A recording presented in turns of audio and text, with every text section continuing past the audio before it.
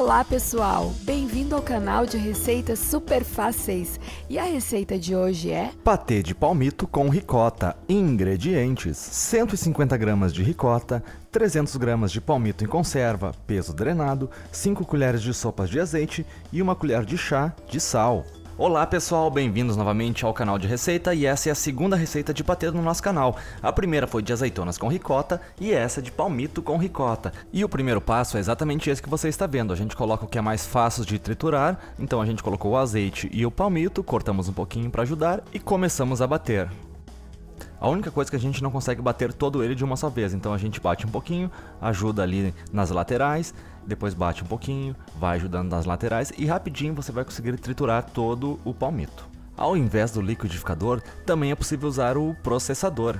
Mas a gente resolveu fazer no liquidificador porque ele é muito mais comum nas casas do que o processador, pois nem todo mundo tem um processador.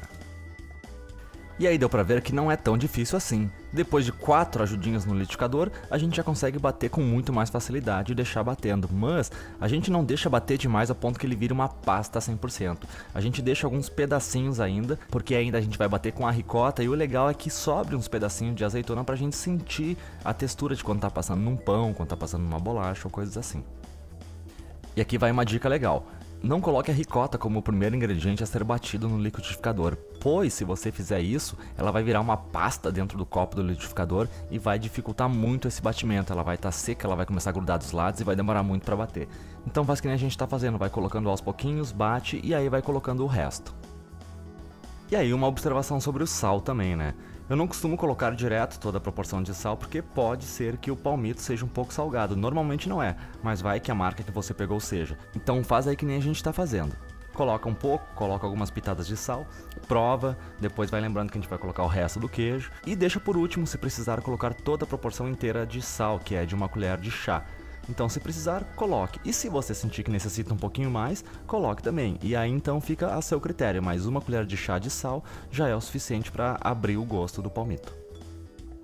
Outra coisa também que pode ser observada é que pode ser que 5 colheres de sopa de azeite ainda deixe o patê um pouquinho pastoso demais, um pouco seco demais. E aí também depende do, da conserva do palmito que você está comprando.